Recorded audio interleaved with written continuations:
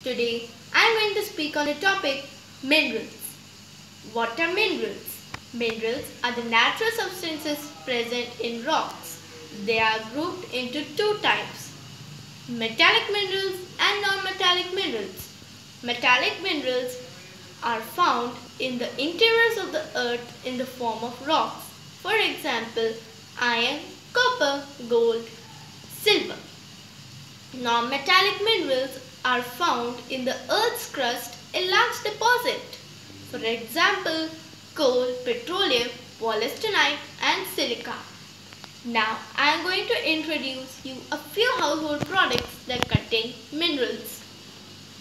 My first product is ceramics. Ceramics are used for making utensils, sanitary wares, tiles, etc. This is a ceramic tile. The basic minerals that are present in this product are silica sand, limestone, talc, lithium, borates, soda ash and feldspar. My next product is lipstick. I'm sure that everyone is aware of this product, especially girls. This is a lipstick. Lipstick is a beauty product used by ladies.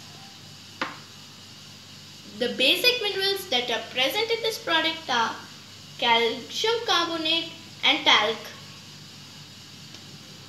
My next product is paint. Paints are used for making homes beautiful and colorful.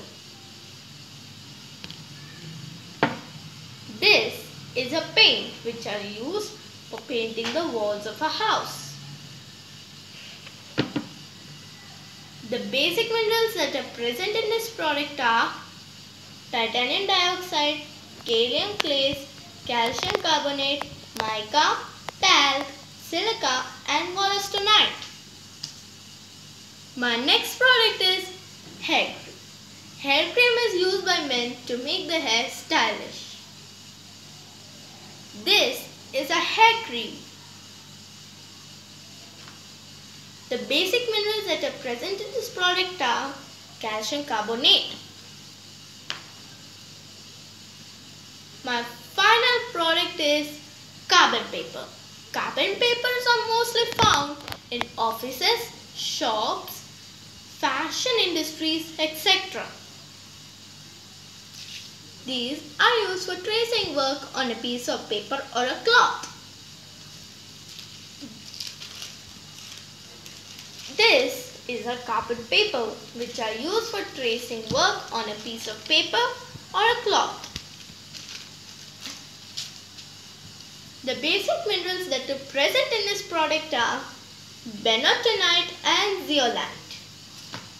I hope everyone liked my presentation. Thank you.